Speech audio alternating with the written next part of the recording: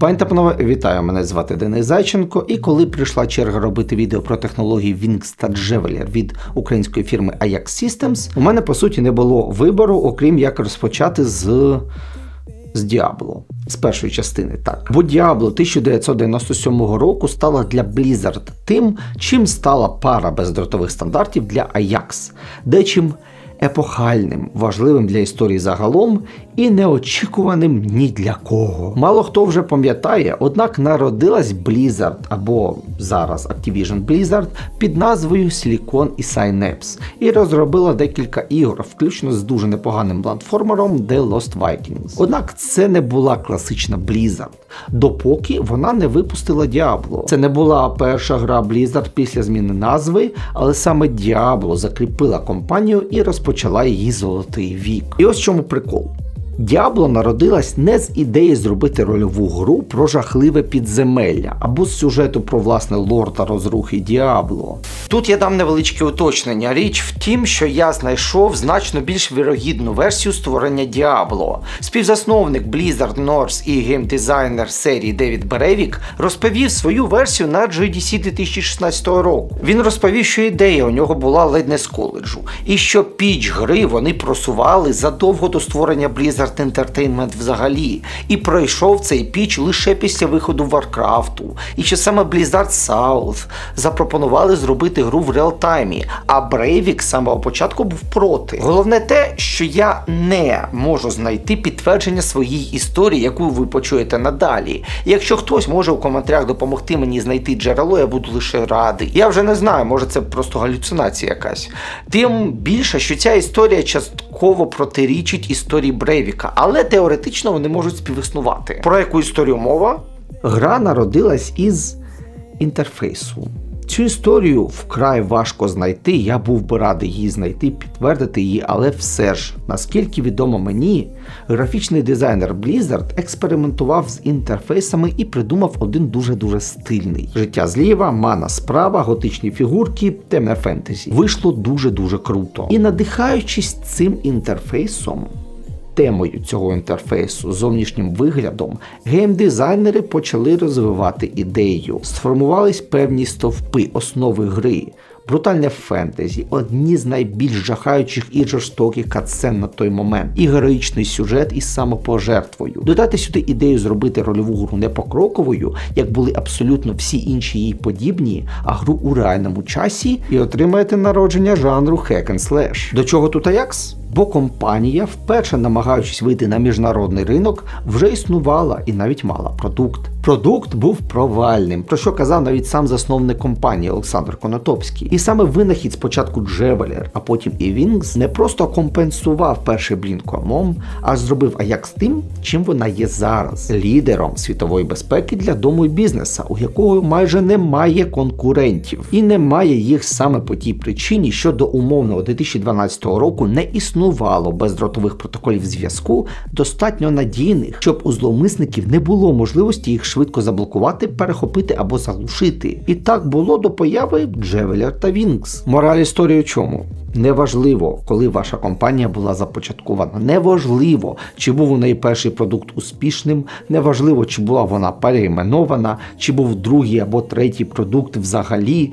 Успіху можна досягнути абсолютно неочікувано, або надихнувшись чимом малесеньким на фоні інших речей, або надихнувшись невдачею і підійшовши до проблеми з іншого боку. Тепер, чому я розповідав про діабло настільки довго? Ну, по-перше, бо історія дуже-дуже цікава, а приводу розповісти про неї в мене більше якби не було. І по-друге, про самі протоколи передачі даних я мало що розповім, і по дуже простим причинам. По тій же причині я дуже мало показував у своїх відео про Ajax самі пристрої, наприклад. Чим менше загал знає про те, що де і як захищає вашу оселю, тим для вас вже краще, тим важче буде, скажімо, спланувати пограбування. Навіть сам той факт, що в мене Ajax вже зменшує надійність мого захисту. Ну як зменшує. трошечки зменшує. Бо Ajax ніколи не розповість про всі деталі стандартів Wings та Javeler до тих пір, доки вони будуть актуальними. Вам по суті потрібно знати, що Javeler – це канал передачі даних між пристроями та хабом. Він енергоефективний, має постійне і швидке опитування і захищений від підміни та злому. І на його основі будувались ледь не всі інші технології Ajax. Wings – це схожий протокол.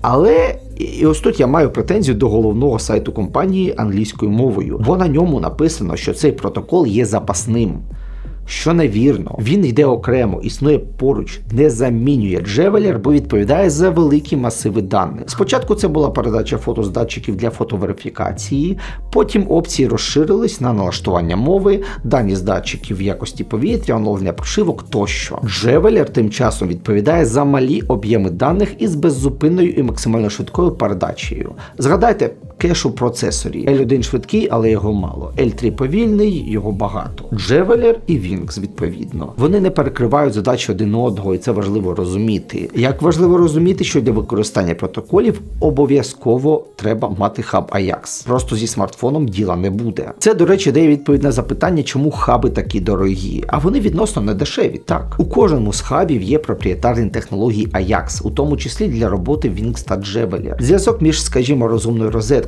Тянь-Фань-Винь за 150 гривень по Wi-Fi і смартфоном перехопити буде відносно легко.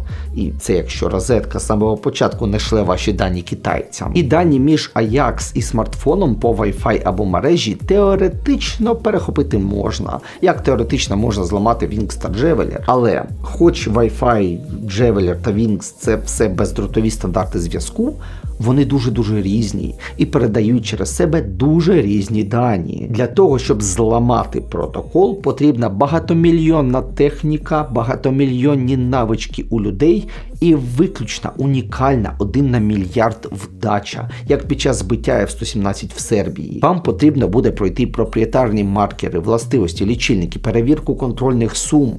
Але теоретично це можливо. Зі значно більшою втім вірогідністю злочинець спробує перехопити доступ до вашого аккаунту. Тому в програмі передбачені двохфакторна ідентифікація, підтвердження особи відбитком, контроль сесії і не тільки. Тобто, маючи базові навички для безпеки пристрою, ви отримуєте систему безпеки для дому, яку нереально зламати. І у цьому власне і причина використовувати систему безпеки Ajax як мінімум вдома, не лише у великих фірмах з мільярдними прибутками. У випадку останніх до речі, Ajax має окрему лінійку дортових моделей із окремою і досить лютою сертифікацією Grade 3. Ну а для дому базове комбо із сигналізації камери на вхідні двері і хаба буде коштувати умовні 300 баксів. Але для злому при цьому буде вимагати техніку на мільйони, що звичайному грабіжнику буде непідйомно, а людям більш серйозним ви цікаві не будете. І не забувайте, бо я, наприклад, забув, що е, Ajax співпрацює і інтегрує підтримку у своїй системі системи безпеки охоронних фірм, що теж додасть вам безпеки. Тому, наприклад, комбо із сигналізації Ajax Home Siren, камери на єдиний вхід-вихід Ajax Motion Cam і централі Ajax Hub 2.4G зі стільниковим зв'язком я під квартиру у багатоповерхівці і рекомендую. Сирена це останній прилад, який мені комплектно прийшов, і вона вельми гучна. Настільки, що сусіди почують і прийдуть перевірити, особливо у будівлях, де звукоізоляція не дуже. І ось це все, до речі, і безпека, і невелика вартість. Це все завдяки Джевелер та Wings два сучасних протоколи передачі даних, які створили компанію Ajax, як ми її сьогодні знаємо, і як її сьогодні знає світ. Також не хвилюйтесь про новинки компанії. Ми пишемо регулярно і не без задоволення, тому підпишіться. А у коментарях напишіть, не пишіть ні в якому випадку про те, які продукти від Ajax у вас є вдома. Про це нікому не варто знати, окрім вас. Напишіть про те, чи задумувались ви е, про дешеву техніку з Аліекспреса. От як я казав, там розетки за 150 гривень з підтримкою Wi-Fi. Чи боїтесь ви, що вони будуть передавати ваші дані напряму комуністичній партії Китаю? Бо, наприклад, Лайна Себастьян не так давно робив відео про tv бокси дешеві китайські tv бокси які по суті саме це і робили. Ну, можливо, зливали дані не комуністичній партії Китаю, але комусь дані та шли. Ну я тим часом виражаю величезну подяку київському магазину SoundMag за надання мені для зйомки цього відео мікрофону Sennheiser MK600, а також магазину MotoStaff і компанії Goodsen Moza за надання мені для зйомки цього відео стабілізатору для кінокамер Moza Air 2S. З вас, як завжди, вподобайка, підписка та дзвіночок, коли коментарі важливіші за все. Ютуб їх просто обожнює і просуває наші відео активніше, що нам завжди, але особливо зараз дуже-дуже важливо. З вами були Денис Зайченко та канал Root Бережіть себе. Слава Україні! Слава героям та бувайте здорові! Знято.